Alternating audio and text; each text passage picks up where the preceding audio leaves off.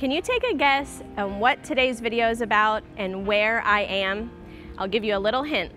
One of the places is well known for its rich history and horses. The other place is well known for the most iconic golf course and tournament in the world. Also, the two places are divided by the Savannah River. Did you take a guess? Hey there, I'm Lindsey Vance with Real Broker LLC, and on today's episode, let's go over Aiken, South Carolina, and Augusta, Georgia. They're commonly compared because they're actually right next to each other. So let's jump right into it. Now first, to give you an idea of where we are on the map between South Carolina and Georgia, it's actually known as the CSRA, which is the Central Savannah River Area. It's the marketing and trading hub for South Carolina and Georgia. The CSRA is made up of 14 counties in the state of Georgia and seven counties in South Carolina. Now, instead of going broad throughout those counties, we're just gonna focus on Augusta, Georgia and Aiken, South Carolina. So you may have heard that Aiken, South Carolina has been named as one of the best small towns in the South. And now Augusta, Georgia actually gives you more of that city vibe. So how big are these towns and what's the population? Aiken covers more than 1,000 square miles for the county, and the city itself is 21 square miles. The population is around 31,000 within the town of Aiken, but among the county, there's 170,000 people.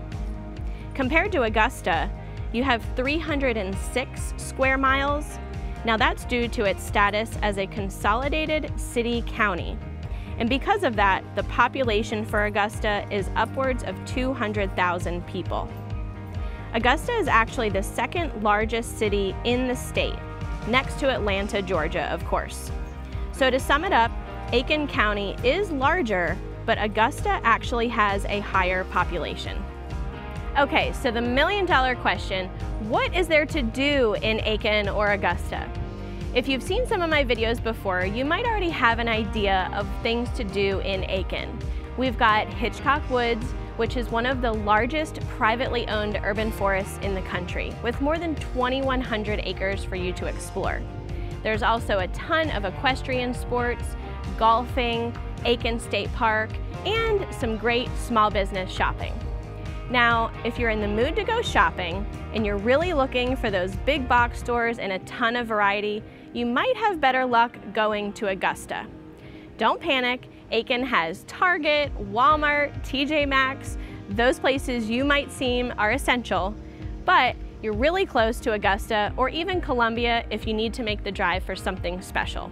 One of my favorite things about shopping in Aiken is most of them are locally owned businesses and boutiques you'll always find something unique at these places. Now, moving on to Augusta, with it being so close to the Savannah River and the lake at Clarks Hill, you have so many water activities to pick from. Also, Aiken is surrounded by a few larger growing suburbs. So not only do you have options of activities in Augusta, but also the surrounding towns as well. You can spend a day on the water with kayak rentals from Savannah Rapids Pavilion, or paddling the river at the Augusta Canal, Betty's Branch is a popular spot, or even make it over to Phinizy Swamp. Now, as you know, Augusta is most famous for Augusta National Golf Club, where the Masters Golf Tournament takes place. It brings in more than 200,000 visitors every spring for that week of tournament. Not only do you have golf activities around Augusta, but we have Top Golf here as well. So if you're looking for something a little more amateur level, you can enjoy that activity with friends. If you're in the mood to go shopping around Augusta, there's a big mall, plus shopping centers, and downtown shopping. You pretty much have everything you can pick from spread out around Augusta. Okay, now I want to touch briefly on the medical facilities and healthcare in both areas. In Aiken, we do have Aiken Regional Hospital and smaller medical park. However, if you're looking for more specialists and a broader option, you might want to go to Augusta. Augusta's medical district is huge and has tons of specialists to choose from. It's also home to the state's first medical school, also known as MCG, the Medical College of Georgia. Augusta also has Augusta University and Augusta University Cancer Center. You also have the Children's Hospital of Georgia, the VA Medical Center, and the University Hospital System. So not only does Augusta give you more options for medical care and facilities, but the medical expenses are actually 5.6% less than that in Aiken. But good news, if you live in Aiken and you want to make that trip over to Augusta, it's a really easy short drive. How about housing affordability? Now, I'm not going to deep dive into real estate statistics, but to just give you a general idea of the comparison between Aiken and Augusta's housing markets, it is a little bit more expensive to live in Aiken. For example, if you're looking at a home in Aiken around the $200,000 price point, you may have a similar property in the Augusta area for about $140,000. So overall, Augusta, Georgia is 30.9% less expensive than housing in Aiken. Now let's talk a little bit about the job economy in both locations. Aiken is well known as a retirement destination and also if you're looking to have a second home. So the job options are not abundant in Aiken. However, it's so centrally located that if you want to live there, it's really an easy commute to either Augusta or up to Columbia. The largest employer in Aiken County is Savannah River Site with 11,200 combined employees. The work options at SRS include engineering, construction, technical services, and liquid waste management through Savannah River Nuclear Solutions and Savannah River Remediation. Augusta, Georgia is known for biotechnology, medicine, and military because of its proximity to Fort Gordon. Formerly known as Camp Gordon, Fort Gordon is a United States Army base, and it's the current home of the U.S. Army Signal Corps, the U.S. Army Cyber Command, and the Cyber Center of Excellence. Now, we all need a way to get to these places, right? So we're talking about transportation.